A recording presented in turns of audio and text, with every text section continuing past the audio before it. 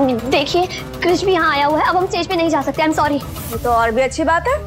यार भी यहाँ और जेठ भी यहाँ। अब तो पैसे पूरे वसूल हो ही जाएँगे। वसूल हो तो गया अब और क्या? ए तेरा दिमाग खराब है क्या? या तुझे भी वो भूलने की बीमारी क्या थी वो भजनी गजनी वाली? कहा था ना तुझे?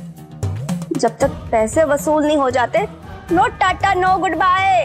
और हाँ याद रखना अगली बार भागने की कोशिश की ना नाचने के लायक तो छोड़। अपने पैरों पे खड़ी भी नहीं होने दूँगी तुझको। कहाँ फंस गए? क्या बोली? शो की कहानी आगे बढ़ती है और हम देखते हैं कि किस तरीके से यहाँ पर क्रिश के लिए बिंदिया जो चाहे कर ले, लेकिन क्रिश जो है बिंदिया को गलत ही समझता है। ऐसे में पायल कितना कुछ कर रही है, लेकिन पायल पर अभी तक क्रिश उस तरीके से नहीं बरसा, जिस तरीके से उसने बिंदिया की बेजती कर डाली। बिंदिया से बोला कि तुम ये जो व्रत रखती हो, पूजा करती हो, ये सिर्फ़ अपनी हवस मिटाने के लिए करती हो ना? मुझे पाओ और हवस मिटा लो। कुछ नहीं। और तुम दोनों कान खोल के सुन लो। बाहर दो अरबी शेख आ रखे बहुत मालदार पार्टी है।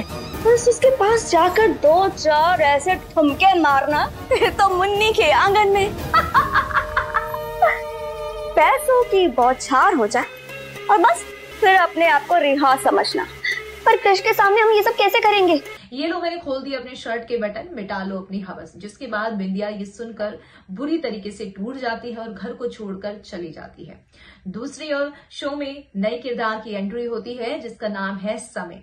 जो कि बिंदिया का समय ज़रूर बदलेगा, ऐसा लग रहा है। जो बिंदिया को संभालता हुआ दिखाई दे रहा है। दूसरी तरफ़ से क्रिश देख रहा है, लेकिन यहाँ पर अब देखने वाली बात होगी, क्या समय की जो नजदीकियाँ बिंदिया के साथ बढ़ेगी, उससे क्रिश को कोई आपत्ति होगी? क्योंकि क्रिश वैसे ही बिंदिया को कई बार जलील कर चुका है।